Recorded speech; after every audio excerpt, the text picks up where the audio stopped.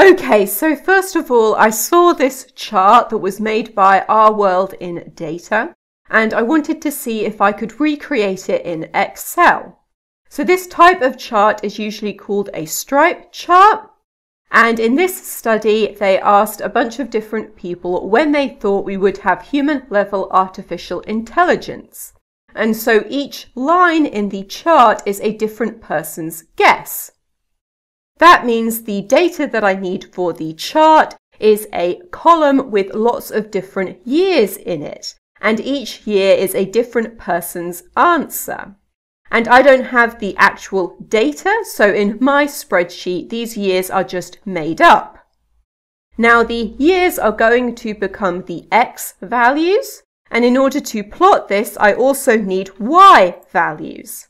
And because I want all of my data points in a line, all of the y values need to be the same number. So I'm just going to put the number 1 in here and then double click to send it down. Then I'll go to Insert and I'll insert a scatter chart. Then I will right click on the chart and go to Select Data and add in a series and the x values will be all of the different years. Then the y values will be the column with all of the ones in it. And OK, and OK again.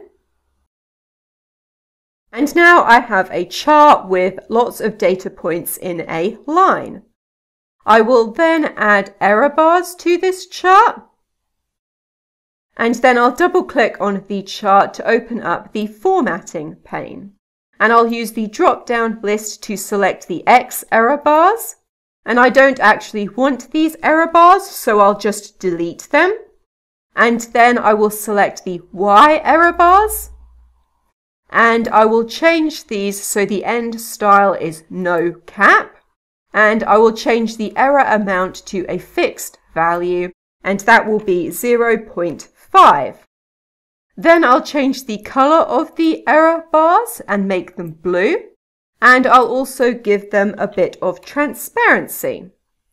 Then I'll select the data points and go to marker and marker options and none. And now we've removed the data points and we have just the error bars left. And so we now have our vertical lines. And all of the rest of this is just formatting. So I'll delete the chart title and then for the y-axis, I will change the axis maximum to 1.9 and then change the minimum back to 0 in order to get the lines more in the middle of the chart. Then I'll change the major units to 1 so we just have one vertical grid line going through the middle.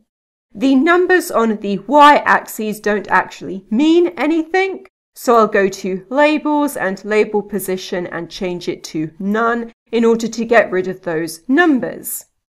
Then I can change the size of this chart to make it longer and make it smaller. Okay, so in this video I have shown you how to make a stripe chart in Excel and that is everything.